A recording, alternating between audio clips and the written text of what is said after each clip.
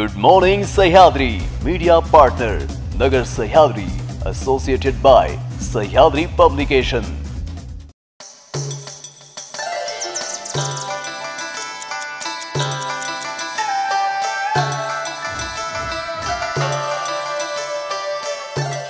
good morning मी ज्योती. आपण पाहताय news twenty four Sahyadri घेऊयात सकाळच्या महत्त्वाच्या बातम्यांचा आढावा गुड मॉर्निंग सह्याद्रीमध्ये आज दिवसभरात महत्त्वाच्या घडामोडी घडणार आहेत भारतीय स्वातंत्र्य दिनाच्या पूर्वसंध्येला. आज राष्ट्रपती द्रौपदी मुर्मू देशाला उद्देशून भाषण करणार आहेत. राष्ट्रवादीत बंड झाल्यानंतर जवळपास दीड महिन्यानंतर शरद पवार बारामतीमध्ये दाखल झालेत तर दुसरीकडे आज म्हाडाच्या मुंबईतील घरासाठी सोडत काढण्यात येणार आहे. मुख्यमंत्री एकनाथ शिंदे यांच्या हस्ते ही सोडत काढली जाणार आहे.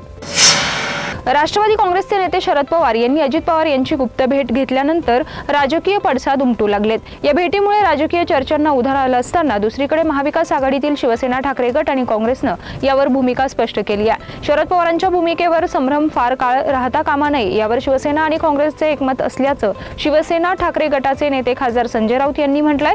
तिन्ही पक्षांनी एकत्र बसून काही निर्णय घेणं आवश्यक असल्याचंही त्यांनी स्पष्ट केलंय. बारा ज्योतिर्लिंगापैकी एक असलेल्या नाशिकच्या त्र्यंबकेश्वर मंदिरात भाविकांची तुफान गर्दी उसळली आहे. पहाटेपासून मंदिराबाहेर जवळपास चारशे मीटरपर्यंत रांगा लागल्यात.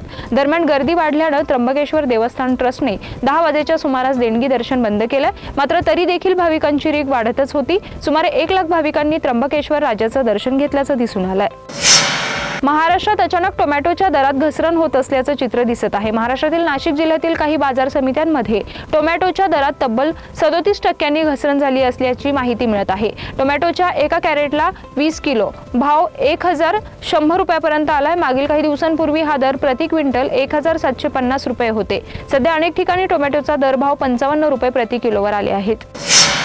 पाकिस्तानातून भारतात आलेल्या सीमा हैदर हिच्या अडचणीत आणखी वाढ झाली आहे. सीमा हैदर ही पाकिस्तानी गुप्तहेर असल्याच्या संशयावरून तिची चौकशी करण्यात येते तर दुसरीकडे तिच्या प्रेमकथेवरून चित्रपट बनवण्याची घोषणा निर्माते अमित जानी यांनी केली आहे. कराची ते नोएडा असं या चित्रपटाचं नाव आहे. मात्र हा सिनेमा येण्याआधीच निर्मात्यांना अनेकांकडून धमक्या आल्यात. त्यात आणखी एक धमकीची भर पडली आहे. खळखट्याक फेम राज ठाकरे यांच्या महाराष्ट्र नवनिर्माण सेनेच्या नेत्यानं सीमा हैदर यांना थेट धमकी दिली आहे.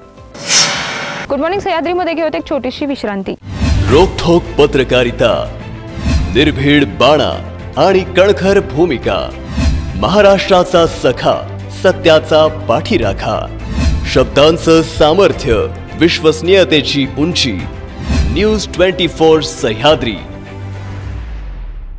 विश्रांतीनंतर तुमचं पुन्हा एकदा स्वागत पाहूयात पुढील बातम्या.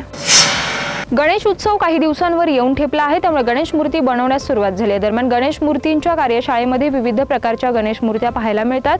दादर पश्चिम श्री आर्ट या गणेश मूर्तीच्या कार्यशाळेत विविध प्रकारचे गणेश मूर्ती बनत आहेत. तर यंदा पर्यावरणपूरक गणेश उत्सव साजरा करावा यासाठी शाडूच्या मातींच्या मूर्तींना अधिक मागणी आहे. बीड लोकसभेसाठी काँग्रेसकडे सक्षम उमेदवार आहे. याकरिता आतापासूनच तयारीला लागा. जे जागा खाणारे होते ते आता सगळे विरोधात गेले. त्यामुळे प्रसंगी आपण स्वबळावर सुद्धा मैदानात उतरण्याची तयारी ठेवणार आहोत. बीडची जागा ही काँग्रेसच लढणार असून त्यासाठी सक्षम उमेदवारही असल्याचं आमदार अमित देशमुख यांनी म्हटलंय. बीडमध्ये काँग्रेसच्या आढावा बैठकीवेळी कार्यकर्त्यांना उद्देशून देशमुख हे बोलत होते.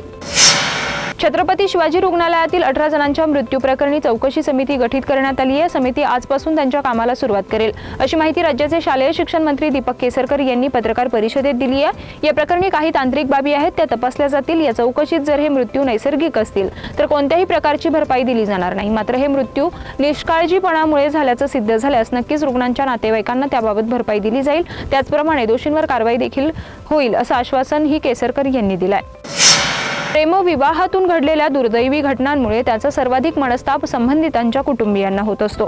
त्या पार्श्वभूमीवर निफाड तालुक्यातील सायखेडी ग्रामपंचायतीनं हा मनस्ताप टाळण्यासाठी एक अनोखा ठराव केला गावात यापुढे कुणाला प्रेमविवाह करायचा असेल तर नियोजित वधूवरांच्या आईवडिलांचं परवानगी पत्र अनिवार्य केलंय.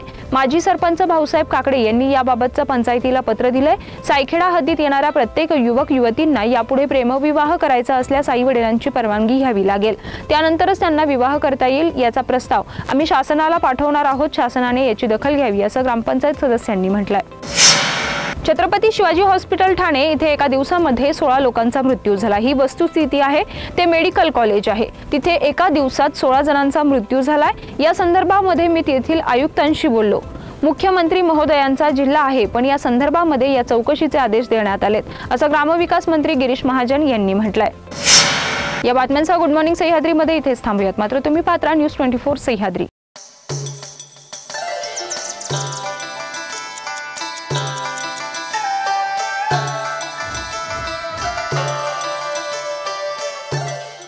शब्दांचं सामर्थ्य विश्वसनीयतेची उंची न्यूज ट्वेंटी फोर सह्याद्री.